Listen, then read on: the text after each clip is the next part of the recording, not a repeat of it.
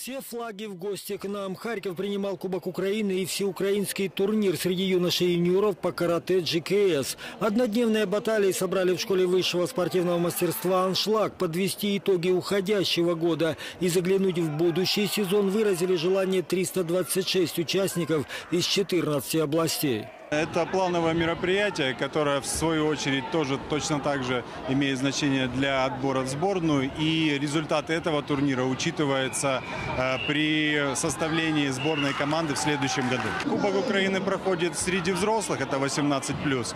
Э, но мы никоим образом не можем оставить без внимания наших э, младших спортсменов, тем более, что это наш резерв, это наша опора. И, естественно, если мы работаем, то работаем в основном для наших детей.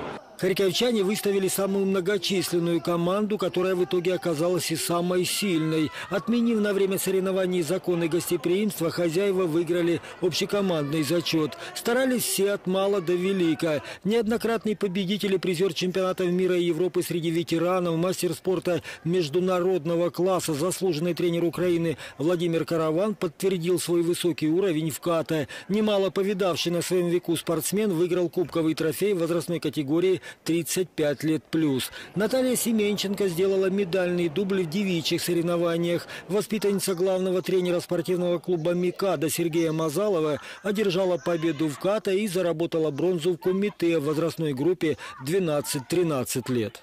Было сложно, девочка по уровню была как я, и было вот очень сложно бороться с ней. По технике похожи были. Пришлось постараться. Да, очень сильно выкладываться пришлось. Как бы ты оценила вот, э, уходящий год для себя?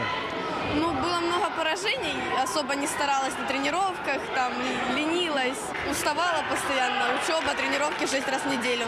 Под конец я очень сильно старалась, чтобы выиграть. Второе и третье общекомандные места заняли сборные Донецкой и Сумской областей.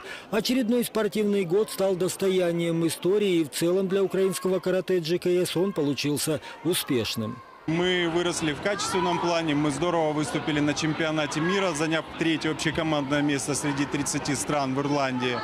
Э, Мы, как мне кажется, немножко выросли в организационном отношении, ну и планируем продолжать наращивать темпы. Победитель не